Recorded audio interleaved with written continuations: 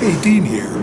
It's a beautiful day. It's uh, late summer, early fall, around the first part of September. I had a chance to talk to Lance Egan down at Fly Fish Food. Uh, a lot of you know Lance. Uh, he is the innovator of a lot of different patterns that we fish with here. Uh, also a member of the U.S. fly fishing team and works at the uh, Fly Fish Food Fly Shop in Orem. Uh, great place to go. So I've got some info from him on fishing terrestrials, uh, ants and, and uh, grasshoppers, things like that this time of year. And then I had a chance to do a little fishing myself on American Fork Canyon. A lot of you remember that about a year ago there was a discharge from the dam work there that killed most of the fish in that in that stream and uh, I went up there and did a little fishing and I'll show you what's happening on the river now and how it's recovered. So anyway, hope you enjoy it. Got uh, Lance Egan here from uh, Fly Fish Food uh, down in Orem. Uh, Lance, one of the more recognizable tyers uh, in the country and, uh, and fishermen. He's going to give us a little info on fishing terrestrials this time of year. Lance? Cool, thanks, Dean.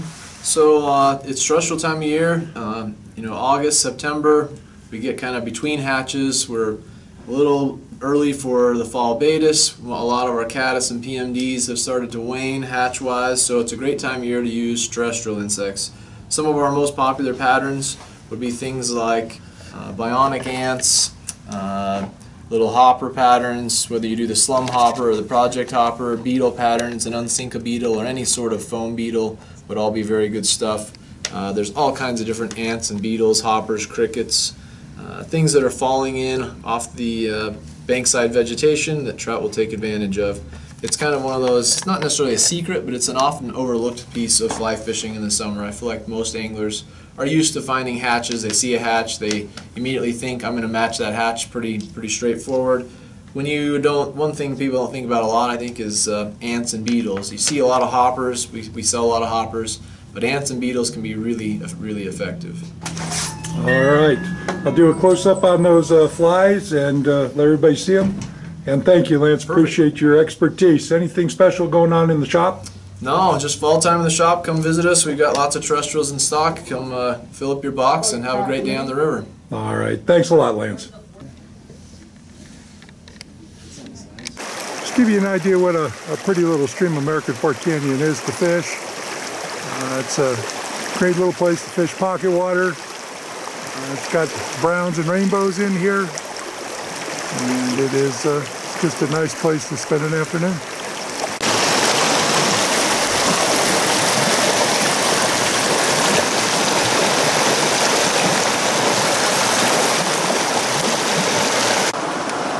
Here's another rainbow, I'll pull him out.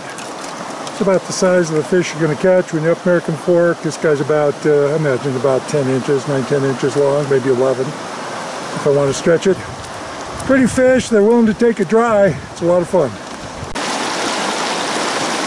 Not to be uh, too esoteric, there has to be a lesson learned from that, uh, that willow bush. There's a little brownie that uh, I picked up. I've been getting a lot of little hits by tiny little browns. Um, they're small, they're aggressive. A lot of them too small to take the fly, but at least there's browns back in the river. Just show you a uh, place where I took the nicest rainbow of the day, right behind that rock right there in that still water, kind of under that log. You've got to be a little inventive when you're fishing up here. Uh, you got to find places other guys don't want to fish generally. Sometimes you just, like here, you just have to dapple your fly on there. You really can't cast into there. Just kind of get your uh, rod, reach it as far as you can, dapple it on there, and hook up a really nice rainbow best of the day. Give you an idea of this little rainbow here. Not too big, maybe a eight, nine incher. Uh, caught him. He he came up three times for the same fly. Most of them don't give you that many chances. So I want to say thanks to him uh, that I caught him.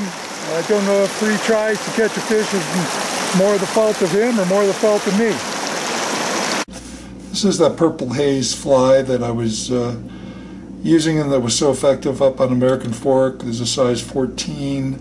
Uh, it's got moose hair um, for a tail. It's just got purple flexi floss for the body. You can use purple dubbing. Um, basically, what we got here is an Adams, a parachute Adams uh, with a purple body. Uh, that's that's really the, the big difference. It's got the grizzly hackle and brown hackle as far as the the wing on it goes. It's a super effective fly. Uh, them a little bushy for American fork, uh, so they float uh, a little better on the uh, the pocket water there. But that's uh, that was a super effective fly. Up on American Fork Canyon, it's late summer, beautiful afternoon, and I'm having a great time up here fishing dries. Been having a lot of luck catching rainbows uh, on purple haze flies, although I've also caught fish with ants and uh, caddisflies, and I've had some luck uh, with comparaduns too. So the fish are uh, are pretty eager. There's a lot of really small browns in the river, little dinks, two three inches. They must have just been planted. As a lot of uh, as a lot of you know, last year they had a, uh, a discharge of sludge out of the Tibble Fork Dam, uh, and uh, put a lot of sludge in this river, killed most of the fish. And I was kind of curious to see what the fishing is like now. There are some nice rainbows in here, and there are a lot of small brown trout, and I did catch a few medium-sized too. So evidently these browns have been planted in here trying to bring it back, and it doesn't look like it's going to take long. Had lots and lots of hits today on dries. Uh, gosh, for every three, for every one fish I caught, I probably had three or four hits. Uh, I don't know why I was missing so many of them. Some of them were so small they couldn't take it, so it's just a lot of little dinks, but a lot of nicer fish that uh, they come up and hit it, and I would lose them. Maybe I didn't give them enough time to take the fly. But it was a ball. Caught quite a few fish. Uh, that purple haze size 14 and 16. That was the killer today. Um, come on up, fish this pocket water, go upstream, get in the river, fish the edges, fish the runs, fish little plunge pools. I think a guy can learn more about fly fishing by fishing a small stream like this uh, than fishing a big river like the Green. Once you kind of get you get an idea of fishing this pocket water in these small streams, where the fish are, how they how how they lie, you can translate that to the Provo River, the Weber River, the Green River, anywhere you fish. You can break those rivers down, kind of dissect them into uh, into a small stream. So come on up, have some fun. Fall is a great time to be fishing up here. It's just getting going. Wet a dry fly. All else fails, throw on a size uh, 14 elk hair caddis. Guarantee you you'll get some action. Well, maybe not guarantee, but you should get some action.